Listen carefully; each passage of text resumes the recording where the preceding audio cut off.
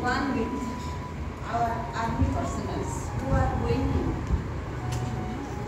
deliver their orientation speeches to make you understand the opportunities of the Agnipak scheme which is very very beneficial for the students. It is a new scheme introduced just recently in September 2022 and the merits of the scheme are very vast and in order to make you understand the opportunities, the procedures to be recruited under this scheme, how to undergo training, all these things will be a prize to you by our esteemed recruiters, the army personnel present here. And this scheme is should not be misunderstood as a scheme only meant for the NCC students. It is meant for all general students. And I hope the all the students would avail the avail this opportunity and try to be one to be in the scheme Agnipath.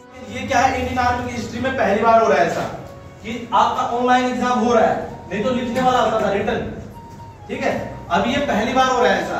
तो इसलिए जो है, आपको बिल्कुल बारीकी से बताना बहुत ज़रूरी है, ताकि आपको पता चले कि आपको करना क्या है। आप लाइफ में तभी तो कुछ करोगे ना, आपको टारगेट का पता रहेगा कि मुझे बनना क्या है। अब यही नहीं पता, बनना क्या, पढ़ते रहो पढ़ते रहो लास्ट में ज़ीरो है ना? तो टारगेट फिक्स करना पहले तो करना क्या है? सभी ने। तो टारगेट फिक्स करना है तो जैसे अभी मैं बताऊँगा आप मान टारगेट है किसी का अग्निवीर बनना, ठीक है? तो उसके बारे में आपको बता रहा हूँ। तो उसमें क्या है, सबसे पहले आपने क्या करना है ऑनलाइन एग्ज़ाम देना है। उस एग्ज़ाम को देने के लिए आपको क्या क्या प्रोसीजर है? सबसे पहले क्या करना है रजिस्ट्रेशन किसी भी जॉब के लिए आप अप्लाई करते हो रजिस्ट्रेशन करते हो ना? अप्लाई करते हो ना? उसमें क्या है रजिस्ट्रेशन के बाद आपको उसको कैसे अप्लाई करना है फॉर्म अप्लाई करना है। ऑनलाइन आजकल सब अप्लाई करते हैं?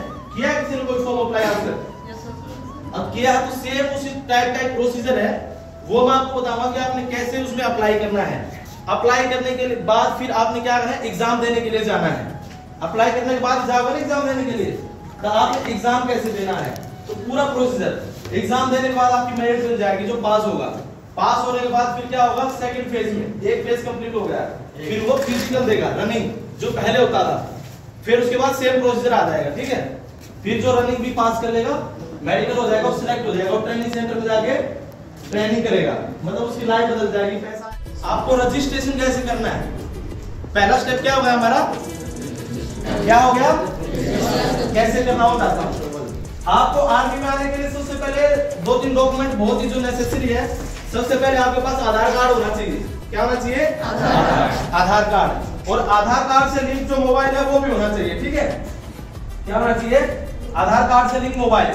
ईमेल आईडी सभी के पास होनी चाहिए, स्मार्टफ़ोन है ना सब तो ईमेल आईडी भी सभी के पास है मतलब है ना? तीसरा क्या होना चाहिए? टेंथ की मार्कशीट। टेंथ सभी ने ली तभी यहाँ तक आए हुए ना? तो तीन चीज़ सभी के पास है। तो अभी आपने क्या रजिस्ट्रेशन करना है सबसे पहले, ठीक है? क्या करना है? रजिस्ट्रेशन तो अभी क्या है रजिस्ट्रेशन करने के लिए हमें कौन सी एक साइट पे जाना पड़ेगा, जो आर्मी के गूगल पे जाके www.joinindianarmy वेबसाइट पे जाना पड़ेगा, ठीक है? उस पे जाके आपने एक कैप्चा मिलेगा वो कैप्चा सबमिट कर देना फर्दर स्क्रीन आपके सामने खुल जाएगी। वहाँ पे दो ऑप्शन मिलेंगे, एक रेगुलर और दूसरा अग्निपथ तो आपने अग्निपथ पे क्लिक कर देना है, ठीक है? अभी जो आपकी एज है, जो आपकी एजुकेशन हो अग्निपथ के लिए आप एप्लीकेबल हो। वो मैं बताऊँगा किस किसमें क्या क्या कैटेगरी ठीक है? तो आपने अग्निपथ को सिलेक्ट करके उसमें आपने रजिस्टर रजिस्ट्रेशन करना है। उसके बाद आपको दो ऑप्शन फिर मिलेंगे। आधार से रजिस्ट्रेशन और मैट्रिकुलेशन से। आधार से कैसे करना है और रजिस्ट्रेशन मैट्रिकुलेशन से कैसे आपने रजिस्टर होना है। ठीक है? आधार से रजिस्ट्रेशन के लिए आधार पे क्लिक करते ही वो आपका आधार कार्ड नंबर मांगेगा। ठीक है? तो आपने वो आधार कार्ड नंबर डालना है और सबमिट कर देना है। देन उसके बाद क्या होगा? एक ओटीपी जाएगा आपके रजिस्टर्ड मोबाइल नंबर पे। कहा जाएगा? वो ओटीपी आपने फिलअप करके सबमिट कर देना है। ठीक है? उसके बाद क्या होगा? आपने कुछ पर्सनल डिटेल आपकी कम्युनिकेशन डिटेल्स डालनी पड़ेगी, ठीक है? तो ये सब डाटा उसमें आपने भरना पड़ेगा। आपकी email ID personal detail contact detail address detail ये सब डाटा स्क्रीन पे रहेगा। आपने ऑटोमेटिक पढ़ पढ़ के भरते जाना है। उसके बाद फर्दर एक ओटीपी जनरेट करेंगे। वो ओटीपी कहा जाएगा? दूसरे वाला ईमेल आईडी पे, जो आपने अभी भरी है। तो वो ईमेल आईडी वाला ओटीपी डाल के आपने सबमिट कर देना है। ठीक है? सबमिट करने के बाद क्या होगा?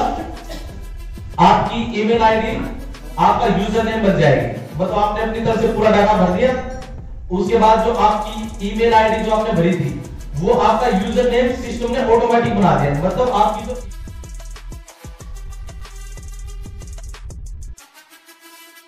ठीक है। थैंक यू जय हिंद